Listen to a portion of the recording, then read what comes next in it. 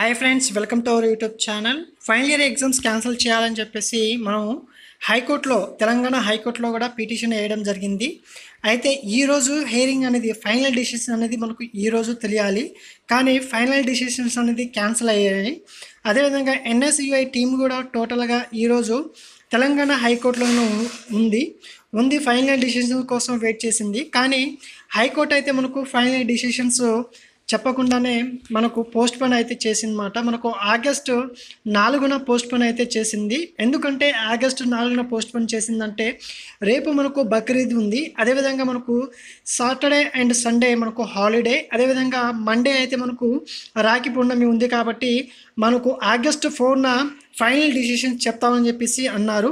కాబట్టి each one UG PG final year students ఎవరైతే ఉన్నారో వాళ్ళైతే టెన్షన్ పడవద్దు. ఎందుకంటే హైకోర్టులో పెట్టిన టోటల్లో అయితే మనకు మన సైడ్ అయితే మనకు పాజిటివ్గా అయితే ఉంది.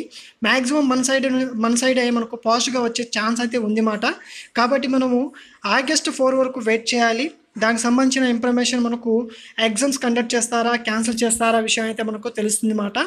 ఇది ఫ్రెండ్స్ మనకు ఈరోజు హైకోర్టులో జరిగిన ఫైనల్ ఇయర్ సంబంధించిన ఇన్ఫర్మేషన్ మాట. మీకు ఈ వీడియో నచ్చితే లైక్ చేయండి షేర్ చేయండి. అదేవిధంగా నా యూట్యూబ్ ఛానల్ని సబ్స్క్రైబ్ చేసుకోండి. Okay friends bye